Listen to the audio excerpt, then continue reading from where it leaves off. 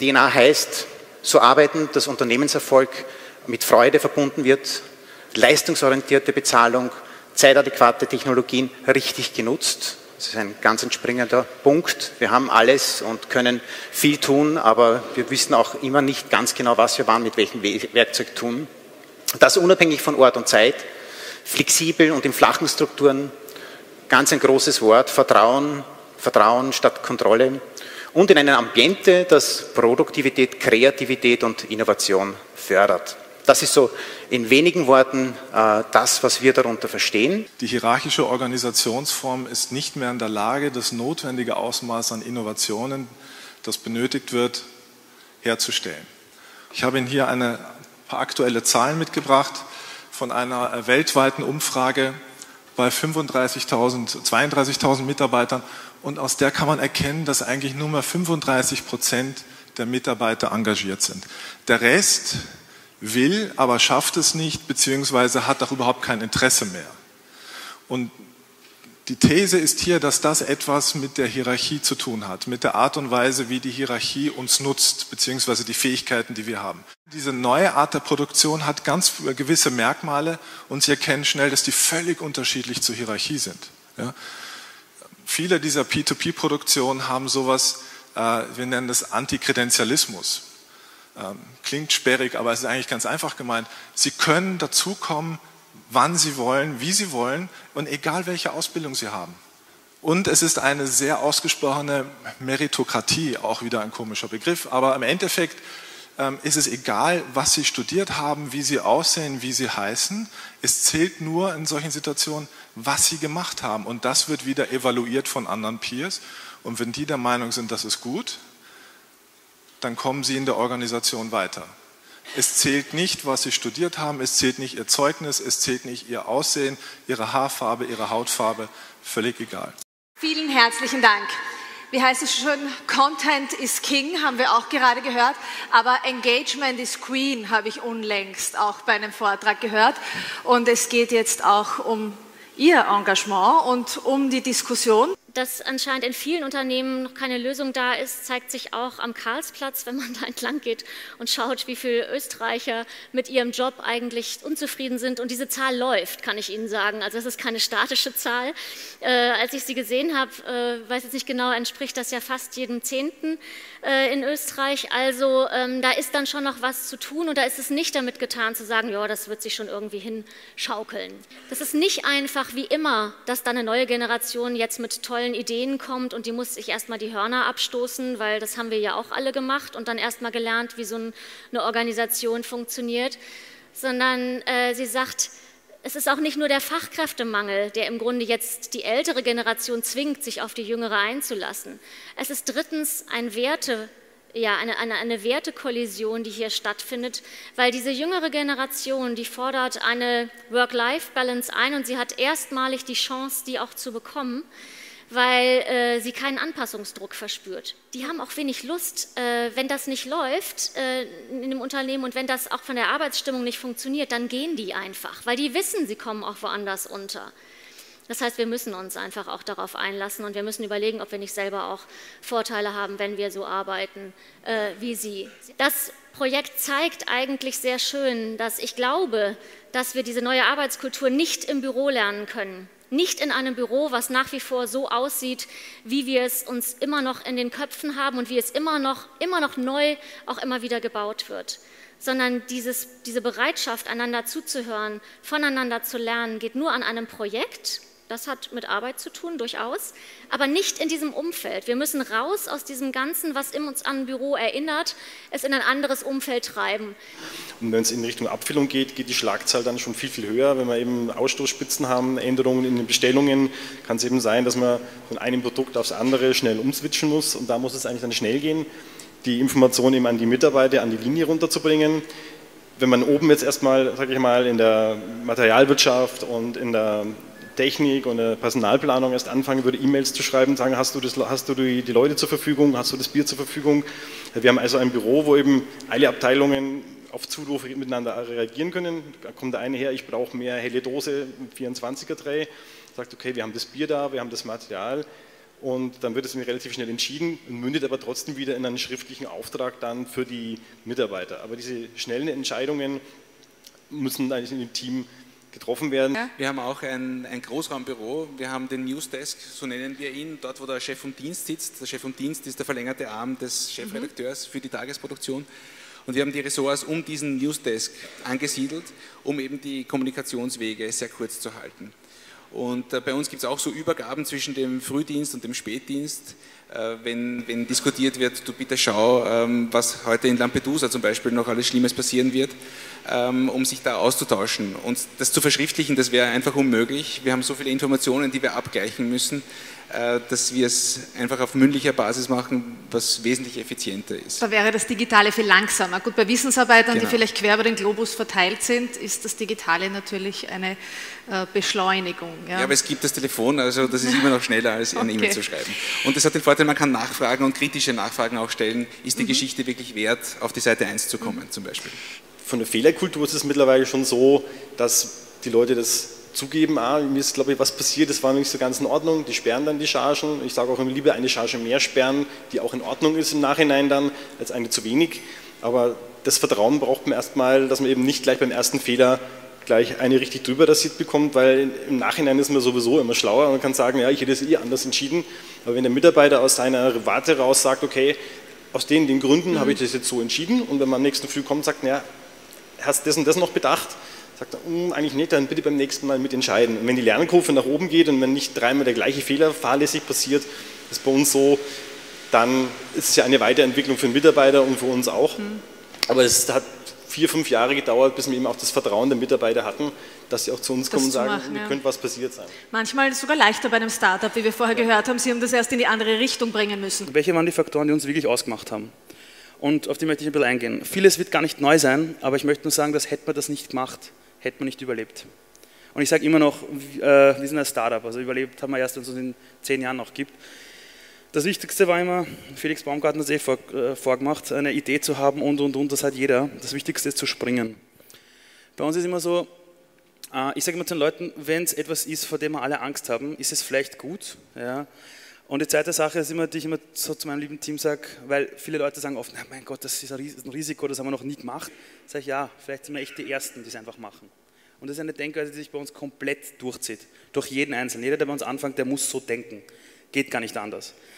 Das zweite ist, äh, ich bin zwar der Chef dort, aber ich bin sicher nicht der im Unternehmen, der quasi jeden Monat die meiste Kohle bekommt. Das ist nämlich deshalb, ich versuche Leute um mich herum zu holen, die Experten sind oder die selber Experten werden wollen in einem Bereich. Die Wahrheit ist einfach, ich versuche Leute um mich herum zu holen, die einfach besser sind als ich in jedem Bereich. Ich habe in Unternehmen gearbeitet, wo das für den Chef unmöglich gewesen wäre, jemand zu holen, der besser ist als er. Ich muss zugeben, würde ich das nicht tun, wären wir tot. Ich bin kein Experte, das habe ich vorher gesagt, ich habe eine Idee gehabt, aber eine Idee ist ein Prozent von etwas. 99% ist Execution und Umsetzung. Das schafft man nicht allein. Und bei uns war es auch, jeder, der bei uns neu anfängt, muss einen Schreibtisch selber zusammenbauen. Das sieht man da oben. Ja. Das ist extrem gut, um die Leute mal ganz runterzuholen wirklich und sagen, Herrst, wir sind alle gleich. Fehlerkultur, Fehlerkultur, Fehlerkultur, über das redet jeder Mensch. Die Wahrheit ist, wenn Sie einen Fehler machen in einem Team von zehn Leuten, ist das echt fantastisch, wenn Sie es allen mitteilen. Weil das bedeutet, dass es neun andere nicht mehr machen. Wir haben auch keine Urlaubsbeschränkung. Also wir haben, als ich damals gesagt habe, mir ist wurscht, ob einer drei Monate in Urlaub geht oder eine Woche, haben mich alle komisch angeschaut. Schaut man sich aber, in, also so bei uns haben wir so ein eigenes Tool, schaut man dort rein, nach eineinhalb Jahren sieht man, keiner hat das ausgenutzt. Intern arbeiten wir mit sowas wie, ähnlichem wie Facebook, dafür gibt es irrsinnig viele Lösungen. Bei uns heißt es halt Podio, aber da geht es darum, da kommt das Wissen rein und die Leute sind wirklich dazu angehalten, ihr Wissen da rein zu tun. Wenn es einer nicht macht, echt, also da bin ich dann stinksauer. Weil es ist einfach so, ich selber, ich könnte jetzt rausgehen und einen Ziegelstein falten am Kopf. In dem Fall derzeit wird die Firma wahrscheinlich stehen und das darf nicht passieren. Und eines der wichtigsten Sachen für uns sind unkomplizierte Lösungen. Ich habe in so vielen Konzernen gearbeitet, wo unkomplizierte Lösungen immer so abgetan wurden als Kinderkram. Die Wahrheit ist, wir könnten es uns gar nicht leisten, auf Sachen zu setzen, die zu kompliziert sind, weil wir müssen schnell reagieren es muss, es muss passen, es muss voll praktisch sein und nicht für jede Person ist jede Lösung gleich. Und eine Sache, die verdammt wichtig ist, ist, wenn wir sehen, dass es nicht funktioniert, muss es sofort austauschbar sein.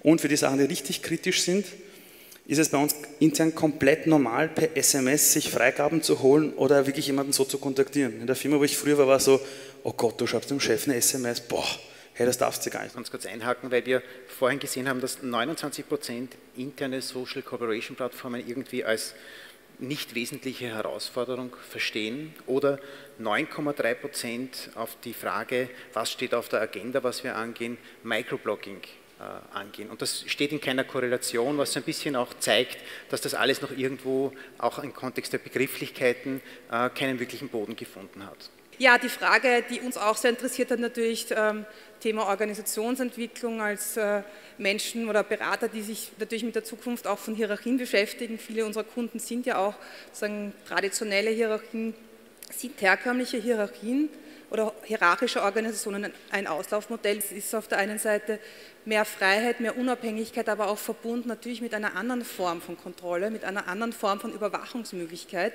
mit einer anderen Form von ständiger Erreichbarkeit.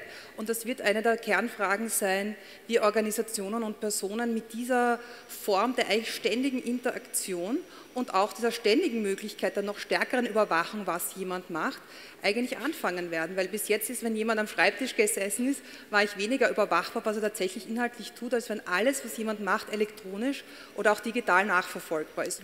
Es gibt ein Projekt und es gibt Kompetenzen. Und irgendjemand nimmt die Aufgabe, ein Team zu bilden. Und der geht dann sehr wohl auch sehr dynamisch damit vor und lässt sich auch nicht vorschreiben, wen er jetzt da in sein Projekt nimmt, sondern kann immer mehr und mehr eigentlich frei aus einem Pool von Kompetenzen, die wo immer auf dieser Welt sind, äh, Menschen in sein Projekt ziehen. Also ich würde das jetzt einmal nicht im Kontext der Studie, sondern im Kontext der bisherigen Erfahrungen als ein, es geht absolut dorthin, dass eine Aufgabe nicht mehr in dem Teil kontrolliert wird, zu sagen, das machst du mit dem, sondern such dir, wen du willst dafür. Du hast dieses Budget, du hast diesen Rahmen, du hast vor allem diese Zeitachse dafür und ich sage es einmal ein bisschen salopp, mach wie auch immer du das möchtest. Wir haben auch seit kurzem eingeführt das Thema Bring Your Own Device. Als wir noch eigene PCs hatten, haben wir natürlich alle unsere eigenen Markennamen verwendet. Äh, mittlerweile haben wir keine PCs mehr schon seit einigen Jahren und äh, wir sind ja auch Fans von, von anderen Produkten. Ähm, es muss hier einiges getan werden zum Thema Arbeitszeitflexibilisierung, damit wir als globales Unternehmen das wirklich voll ausschöpfen können. Wir bieten an, dass die Leute zu Hause von zu Hause aus arbeiten können wenn Sie zum Beispiel Präsentationen schreiben, kreativ denken müssen, ähm, Sachen umsetzen wollen. Es wird aber nicht genutzt. Ja. Und es wird aus einem sehr schönen Grund nicht genutzt. Sie sagen mir einfach, wir wollen, wie uns gefällt es hier, wir haben Spaß an der Arbeit, wir mögen unsere Kollegen und da findet natürlich ein sehr reger Austausch statt.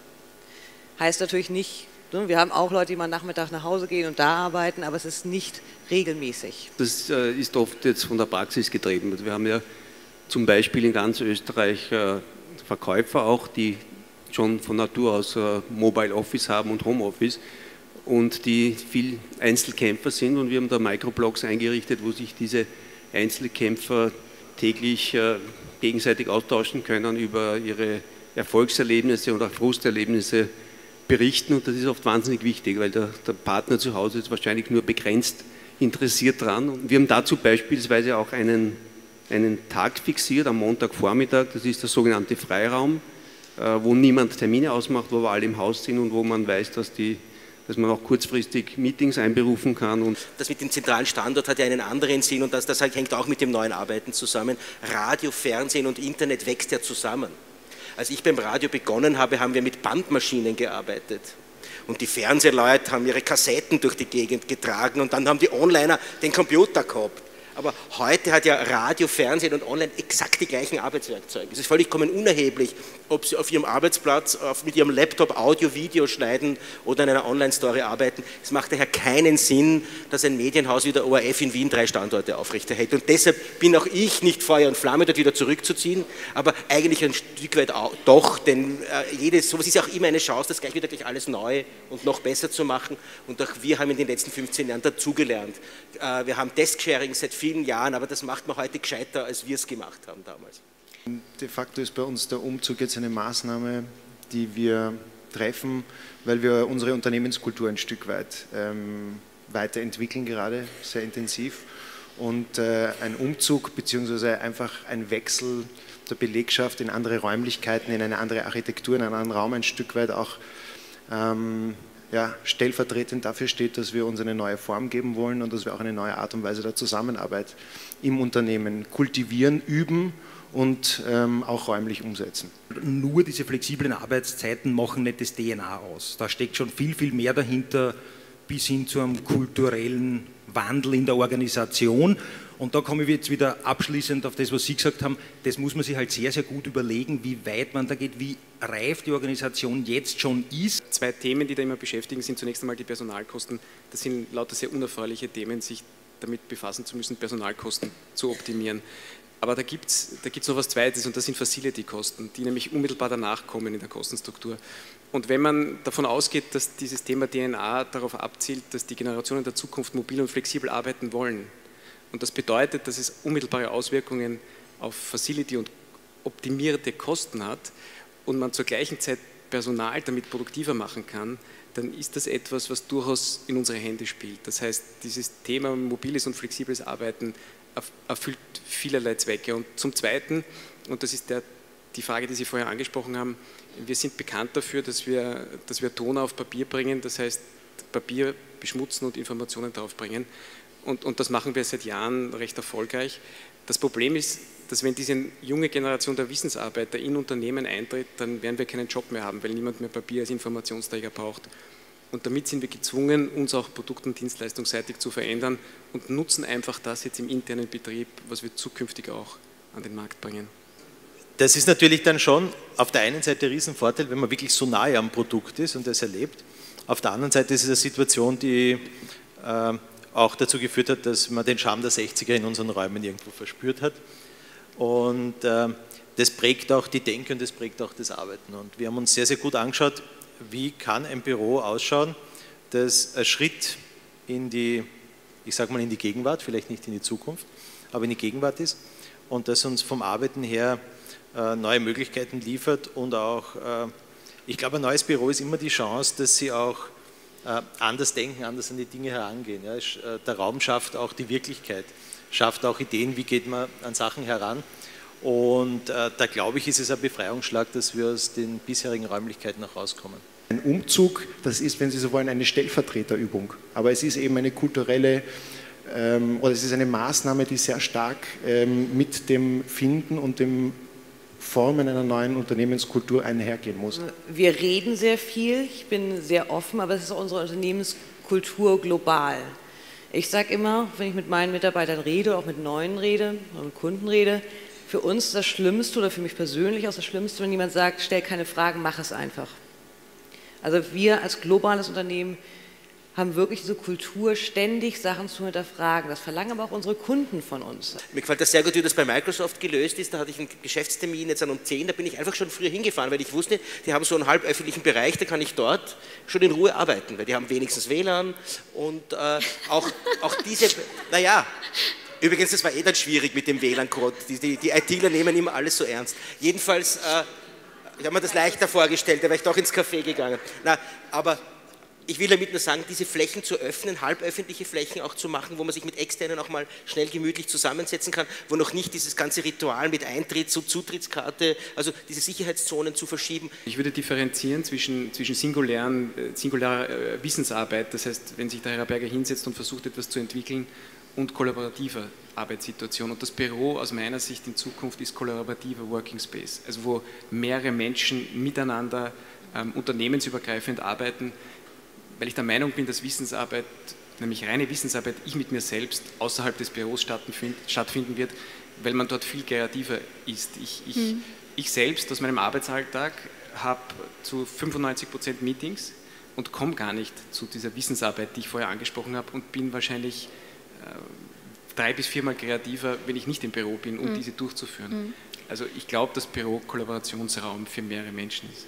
Es geht nicht um einen Abbau von Hierarchien, es geht um einen intelligenten Umbau von Hierarchien. Mhm. Und ähm, gerade junge Menschen ähm, äh, fordern das viel stärker noch als sogar äh, mittlere oder ältere Generationen ein, dass sie einen Platz finden im Unternehmen, weil sie sich dadurch auch äh, damit identifizieren können. Und ähm, wir sind eigentlich, das ist eine Beobachtung, die ich mache, gerade in Bezug auf die jüngeren Mitarbeiter als Führungskräfte viel mehr gefragt als früher.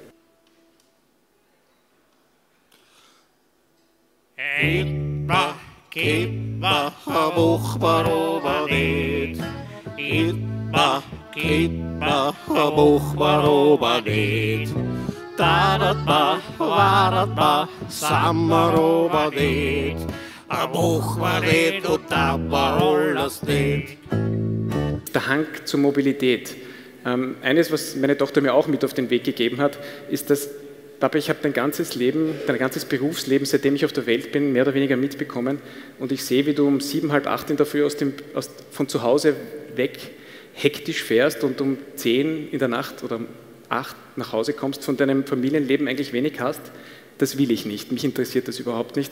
Ich möchte dort arbeiten und dann arbeiten, wenn ich am produktivsten bin, aber sicher nicht jeden Tag am selben Ort. Ein Trend zur Nachhaltigkeit. Und mit Nachhaltigkeit meine ich nicht nur Green IT, sondern es geht sehr wohl darum, und Länder wie, wie Korea machen das vor, die sagen, wir müssen sogar mobil und von zu Hause arbeiten, weil der Verkehr und das Aufkommen äh, von CO2 einfach nicht mehr managebar ist wo alles das, was wir bisher gemacht haben und womit sich diese 110.000 Mitarbeiter beschäftigt haben, einfach nicht mehr existieren wird. Wo es darum geht, mobil und flexibel am Strand oder wo immer auf der Almhütte zu arbeiten und wo moderne Technologien, wie sie heute schon alltäglich sind, Cloudboards, ähm, überhaupt cloudbasierende Lösungen, das Arbeitsleben dominieren. Wir müssen uns selbst verändern, damit unsere Mitarbeiter diese Reise überhaupt nachvollziehen können und verstehen.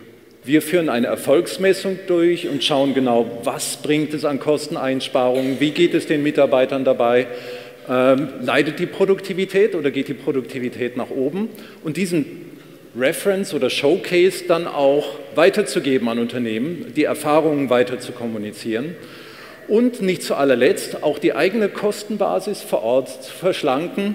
Das Büro spielt eine wichtige Rolle und setzt einen wichtigen, wahrnehmbaren Startpunkt, es ist ein lauter Startschuss und plötzlich im neuen Büro, alle chatten, alle nutzen den Präsenzstatus, Chat ist super in und zwar durch alle Generationen hindurch.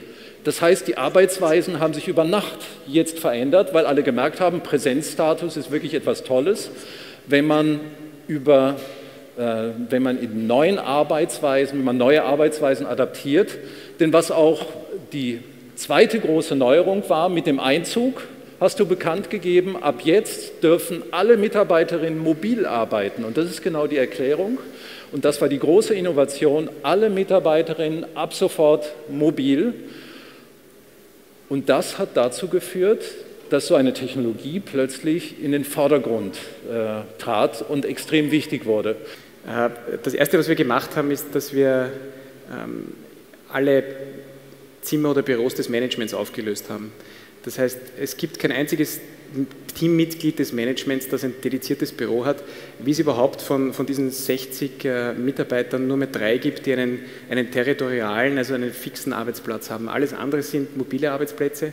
Wir haben äh, für 60 Mitarbeiter 33 äh, Möglichkeiten des Arbeitens äh, eingerichtet, wobei das nicht bedeutet singuläre Arbeitsplätze, sondern es sind, es sind Teamräume und zusätzlich haben wir äh, sechs Besprechungszimmer für dieses Büro, das ungefähr 350 Quadratmeter äh, umfasst. Wir haben derzeit zwei Tage definiert, wo, wo nahezu alle Mitarbeiter im Büro sein sollten und müssen. Wir wollen den sozialen Kontakt jedenfalls aufrechterhalten und wir müssen lernen, wie diese neue Welt des Arbeitens sich auf den Zusammenhalt vor allem zwischen den, den, älteren Generationen der Mitarbeiter und den jüngeren auswirkt, weil dort sehr wohl teilweise noch, noch Lernpotenzial besteht, wie man mit diesen sozialen Kollaborationstools umgeht.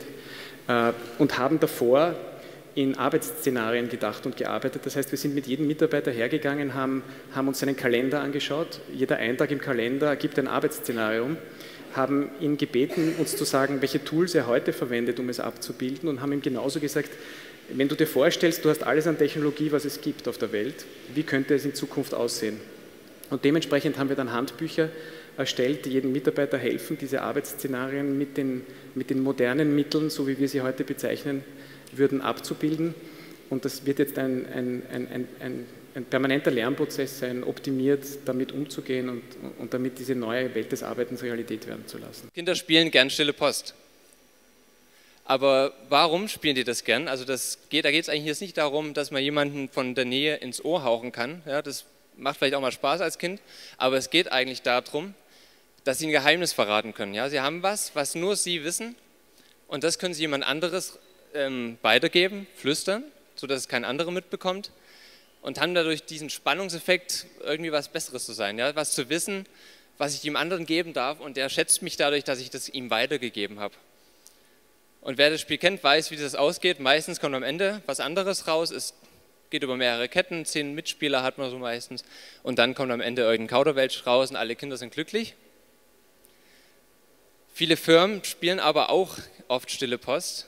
Und dann bin ich nachts, ähm, ich neige so ein bisschen zu Übertreibung und Sarkasmus, das gebe ich jetzt vorweg mal, bin ich wach geworden und habe gedacht, eigentlich ist das, wenn wir jetzt Social Media betreiben, ist das, was Sie da sehen und was wir bisher gemacht haben, asozial. Warum ist das asozial? Asozial ist das aus dem Grund, weil immer der, der höher steht, entscheidet, was der andere wissen darf. Das ist asozial erschreckender Gedanke. Ich habe dann lange überlegt, ob ich das hier wirklich erzähle, aber ich kann leider nur ehrlich und ich bin nach wie vor davon überzeugt, dass das wirklich so ist. Wir schaffen uns Sicherheit und Inseln und Führungskompetenz dadurch, dass wir anderen Sachen nicht zur Verfügung stellen. Das ist völlig falsch. Und wenn ich in meinen eigenen Alltag gucke, ich schaffe es nicht mal, meine 15 Mitarbeiter zu informieren über das, was in meinem Kopf rumgeht und was da weiter passiert. Wenn ich das poste, und das mache ich sehr gerne von der Autobahn, aus dem Zug oder sonst irgendwo, das reicht denen, weil sie ein Grundverständnis haben. Und dann reicht eine sehr kurze Botschaft, die dann das Gesamtbild erweitert. Und so kommunizieren wir in unserer Abteilung und das auch über die Abteilung hinaus. Und ich glaube, dass das die Art ist, wie es in Zukunft funktioniert. Ja, der, der, Bereich, der jetzt hier gerade im Video angeschnitten wurde, ist natürlich nur ein ganz kleiner. Ja? Status-Updates, Microblogs, mal schnell eine Mitteilung rausschicken an den, an den Filialisten oder an das Team, macht lang noch keine komplette andere Kommunikation aus. Ähm, deswegen haben wir uns mit Reno zusammengesetzt und haben uns mal so einen Schuhladen angeguckt. Ähm, wir möchten heute nicht mehr äh, nur in einem grauen kleinen Büro sitzen, an einem, ähm, in einer alltagsgrauen Welt, sondern wir möchten unsere Plätze verändern. Wir möchten einmal mit Kollegen zusammensitzen, weil wir gerade ein Projekt haben. Also wir möchten eigentlich den Arbeitsplatz wechseln. Wichtig dabei sind drei Sachen. Erstens, diese Elemente stehen immer in einem Gesamtzusammenhang. Sie können ein Modell der Vertrauensarbeitszeit nicht einführen, ohne auch an Führung zu arbeiten, ohne an Ergebnisorientierung zu arbeiten, um weg von einer Präsenzkultur zu kommen. Es geht nicht um Best Practices, sondern es geht um einen Best Fit. Es gibt keine Standardlösungen dafür in keinem Feld. Es muss immer zu Unternehmen, äh, zum, zur Kultur, zur Struktur, zum Geschäft etc. passen. Und das Dritte ist diese Zielgruppenorientierung. Desk-Sharing wird wahrscheinlich nicht für alle Mitarbeiter in einem Unternehmen passen, Vertrauensarbeitszeit nicht. Also hier kommt es auch darauf an, zu welchen Jobs passt was und wo greife ich vielleicht lieber auf andere Modelle zurück. Ähm, auch interessant und wichtig, auch für den Erfolg bei uns ist eigentlich, dass auch die Führungskräfte keine fixen Arbeitsplätze haben, keine Büros haben. Das heißt, ähm, bis in die obersten Ebenen leben wir das auch wirklich sowas von der Vorbildwirkung und von den Abstimmungsschleifen, die dadurch auch viel schneller sind, sehr, sehr positiv ist. Und wir haben wirklich versucht, so viele Mitarbeiter wie möglich, und wir haben alle sogar mehrmals erreicht, ähm, hier in dieser Phase äh, einzubeziehen und so das Commitment so hoch wie möglich äh, zu schaffen. Der Herr von äh, IBM beim Riener Beispiel hat gesagt, es braucht Wahnsinnige in der Unternehmensgruppe oder im Unternehmen, die sowas durchtragen wollen. In diesem Fall gibt es zwei Wahnsinnige. Einer sitzt da unten, das ist der Gerald Hofbauer, der die SharePoint-Plattform technisch betreut und ein Motor ist. Der zweite Wahnsinnige steht da oben. Ähm, wir brauchen tatsächlich einen Motor, das passiert nicht von alleine, dass man einfach eine Social Media Enterprise 2.0 Plattform in der Firma einführt. Äh, wir sitzen dahinter, wir stehen dahinter etc., wir enablen die ganze Sache und treiben die ganze Sache vorwärts. Wir connecten dann die HR-Abteilung, die Corporate Communication, den Betriebsrat und alle möglichen Leute und überzeugen die Leute, warum ist das wichtig, warum sollten wir das machen, welche Gefahren gibt es da, wie können wir die aber im Vorhinein durch Gespräche schon entsprechend abfedern, wenn da irgendwas passiert? Und wirklich Überzeugungsarbeit zu leisten, ist schon wirklich notwendig. Aus unserer Sicht gibt es drei wichtige Punkte, die äh, mitspielen bei der ganzen Umsetzung. Das eine ist die Kultur, die Unternehmenskultur, passt die dann zu dem Thema Social Media überhaupt irgendwie? Es gibt die Prozesse, die wir entsprechend umsetzen müssen und der letzte Punkt ist die Technologie. Wenn man sich diese drei Dinge anschaut, diese drei sollten wir irgendwie auch in unserem Projekt adressieren. Aber, und jetzt kommt das große Aber, wenn Sie sich das anschauen, wenn Sie die Kultur nicht mithaben, dann können Sie die schönste Plattform haben und werden die schönsten Bilder haben und werden der einsamste Blogger auf dieser Welt sein, äh, weil keiner Ihnen antwortet, wenn die Kultur nicht da ist. Und wenn die Prozesse nicht, äh, auch, Sie können schöne Prozesse designen, Sie können es auch irgendwo im Internet abspeichern, äh, sagen, okay, das ist der neue Prozess, wie wir das leben. Wenn die Kultur nicht mitspielt, hilft Ihnen das auch recht wenig. Es muss auch auf der SharePoint-Plattform und in dieser, auf dieser Collaboration-Plattform ein wirklich gutes Search geben, damit Sie eben die Leute in der Unternehmensgruppe finden, die etwas zu ihrer Problemlösung beitragen können. Wir haben jetzt äh, vor äh, rund drei Monaten eine äh, Tochter in Albanien gelauncht und in der Anfangsphase war die erste Frage, wer kommt bei uns Albanisch? Und die Personalabteilung konnte es mit den Mitteln im SAP, was sie abgespeichert hatte, und Bewerberbögen, die irgendwo, einer, irgendwo liegen, nicht beantworten ad hoc, eine Liste zu generieren, wer kann Albanisch. Aber wenn wir da jetzt unsere Leute dazu kriegen, ihre Profile ordentlich zu pflegen, wie sie es mittlerweile, wie sie es davor auf Xing gepflegt haben oder auf LinkedIn gepflegt haben schon, äh, wenn, wenn wir sie dazu kriegen, sie hier einzukriegen, dann ist diese Beantwortung dieser Frage kein Problem mehr. Dann, machen wir eine Suche, wer kann Albanisch und ich habe dann fünf Mitarbeiter innerhalb von einer Stunde mal, mal als Liste, der kommt nochmal in Frage für diese Problemstellung. Bottom-up ist natürlich immer wieder Schwerstarbeit. Der End-User, wie er jetzt noch arbeitet, ist im Endeffekt sehr silo-orientiert, sehr passiv, hat seine Informationen in seiner Inbox, hortet die Information auch und tut sich schwer, die Information zu teilen. Es ist nach wie vor dieses hierarchische Prinzip, ich informiere die anderen, aber nur die ich kenne und lasse natürlich die Leute aus, die, natürlich, die ich nicht kenne. Ziel wäre natürlich, jemanden zu haben oder die User zu haben, die vielleicht etwas mehr connected sind, ja, die vielleicht ähm, aktiver sind in der Zusammenarbeit, die offener mit den Informationen umgehen. Und dieser Weg ist natürlich ein etwas steinigerer Weg und das ist wirklich eine kulturelle Transformation, die wir machen müssen. Das heißt, wir müssen hier den End-User bei der Hand nehmen und ihm zeigen, wie man anders arbeitet und das geht sehr, sehr träge, sehr langsam. Ich kann das auch nicht erzwingen, sondern ich muss den Benefit den End-Usern zeigen, wie man man dorthin kommt. Governance ist ein Thema, das sehr, sehr unterschätzt wird. Das definiert im Endeffekt die Spielregeln. Ähm, Wer ist für was zuständig? Welche Rollen gibt es? Wie wird das gemanagt? Und zwar muss man diese Interaktion zwischen den technischen Systemen und den End-Usern konstant pflegen. Der Grund, warum man das konstant pflegen muss, ist ganz einfach, die End-User haben Bedürfnisse, sie lernen, sie kriegen was dazu. Da muss man teilweise auch wieder die Systeme anpassen. Durch eine System-Change haben wir im Endeffekt hier einen, ein Byproduct ge gebracht, und zwar das neue Arbeiten für das Unternehmen. Der Betreff einer E-Mail ist wie die Beschriftung eines Umzugskartons. Was drin ist, sollte auch draufstehen. Du bist keine 24-Stunden-Tanke, bestimme deine eigenen digitalen Öffnungszeiten. Entgrenzung, ja, Sie kennen das alle, Privat und Arbeit verschmilzt immer mehr. Und wir haben mit den Freelancern gesprochen, die jetzt wirklich auch in der Lage sind, ihren Arbeitsalltag zum Beispiel komplett selber zu bestimmen und wirklich zu sagen, okay, das ist jetzt Arbeit und das ist privat. Die haben keine Grenzen mehr. Und das ist aber auch ein, Stück weit ein Problem. Sie müssen sich wieder eigene Strukturen schaffen und wieder eigene Regeln setzen. Also ein Stück weit wieder eigene Hierarchien oder Netzstrukturen äh, bauen, die sie ja eigentlich ganz bewusst vielleicht vorher losgeworden sind. Also früher wurde das Leben um die Arbeit gestrickt, in Zukunft wird die Arbeit um das Leben gestrickt. Mit wem kommuniziere ich, mit welchem Kanal auf die beste Art und Weise? Mit meinem Chef schreibe ich vielleicht E-Mails, aber mit meinem Kollegen direkt über Textmessage. Also einfach nochmal zu fragen, welcher ist der beste Kommunikationskanal, wer hat welche Vorlieben. Allein das vorher abzuklären, ähm, unterbindet schon ganz, ganz viele Missverständnisse und Barrieren, die da vielleicht auch kulturell gegeben, auch generationsgegeben da sind. Führen auf Distanz hatten wir auch vorher schon. Die Leute sind dezentral an verschiedenen Orten. Wie mache ich das? Ich habe viele verschiedene Menschen, die ich noch gar nie gesehen habe in meinem Team.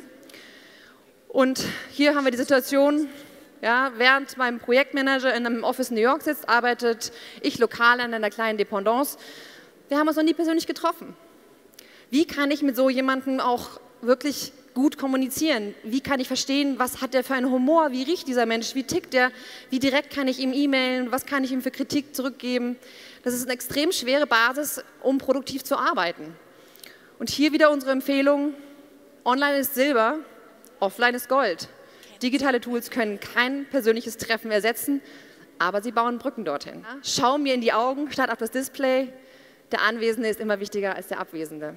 Wissen ist nicht immer und zwar zu 80 Prozent nicht nutzbar. Das heißt, nur 20 Prozent des Wissens, das wir haben, können wir überhaupt nutzen in einer automatisierten Art. Und das äh, äh, hat uns jetzt dazu bewogen, ein bisschen auch einen Innovationsschub dahingehend zu machen, dass wir aus dieser programmatischen Welt, in der wir leben, äh, jetzt in ein kognitives Zeitalter gehen, wo wir Systeme benötigen, die Wissen nicht nur dadurch verwendet und verwendbar macht, dass etwas programmiert ist, das heißt, ich habe nicht nur Systeme, die programmiert sind von einem Menschen oder von mehreren Experten, um ein Problem zu lösen, sondern sogenannte kognitive Systeme, die darauf ausgelegt sind, selbst zu lernen, selbst so etwas wie denken. Und das äh, ermöglicht mir, diese anderen 80 Prozent des Wissens überhaupt zu nutzen. Wir haben auch herausgearbeitet, dass die gesellschaftlichen Werte in solchen Systemen durchaus mitgelernt werden. Dadurch, dass es diese Kommunikation gibt zwischen der Maschine und dem Menschen, dieses Mitlernen, dieses Evidenzen und, das Mit und durch dieses Lernen werden dann auch diese Werte mitgegeben und werden eigentlich auch menschliche Werte durchaus in solchen Systemen abgebildet und dass sogar neue Werte geschaffen werden. Wie schaffen wir es, mit, dem, mit dieser Verdopplung, Vervierfachung, Verzehnfachung vom Wissen noch immer umzugehen? Und wie schaffen wir die Automatisierung unserer Maschinen, was wir die letzten 100 Jahre gemacht haben? Wie schaffen wir jetzt, das Wissensmanagement zu automatisieren und mit diesem Wissen umzugehen? Weil er kann erstens natürliche Sprache verstehen, auch Formulierungen, die menschlich sind. Er schafft es, Antworten, mehrere Antworten zu finden und die auch in Relation zueinander zu stellen und diese auch zu bewerten, wie hoch ist der Vertrauenslevel, dass diese Antwort korrekt ist. Und er schafft sich zu adaptieren und zu lernen. Durch, dadurch, dass er mit Menschen interagiert und Feedback bekommt, lernt er noch weiter dazu. Und das rein auf Basis von, von unstrukturierten Daten. Bei unserer Generation sind diese drei Punkte, Geld, Status, Macht, auf einmal auf die letzten drei zurückgefallen. Punkt 1 ist auf einmal dieses Purpose, etwas Sinnhaftiges zu tun. Eine Autorität ist für uns nicht eine Autorität, weil sie irgendwie Manager of sonst was heißt, sondern eine Autorität ist für die Generation YZ oder Digital Natives jemand, der Substanz oder Kompetenz beweisen kann, von dem man etwas lernen kann, mit dem man auf Augenhöhe miteinander zusammenarbeiten kann. Wissen wird nicht mehr als Machtkapital gesehen, sondern auf einmal geteilt. Wenn ihr mit dieser Spezies der jungen, motivierten, gut ausgebildeten Generation Y zu tun habt, seid offen. Geht mit denen auf Augenhöhe, seid offen. Lasst euch auf diese jungen Leute ein. Lasst euch von denen auch mal belehren. Lasst euch ein. Baut Barrieren ab und habt keine Angst. Откройте все двери, снимите погоны, почувствуйте с нами запах свободы. Откройте все двери, снимите погоны, почувствуйте с нами запах свободы. Откройте все двери, снимите погоны, почувствуйте с нами запах свободы, почувствуйте с нами запах свободы, запах свободы, почувствуйте с нами запах свободы, запах свободы. Откройте погоны, снимите все двери, почувствуйте с нами. Веду вас показы, финансов, сущно, приедьте, сидим, много придёртка, веду вас показы, финансов, сущно, много приедьте, Vive la, vive la révolution. Vive la révolution.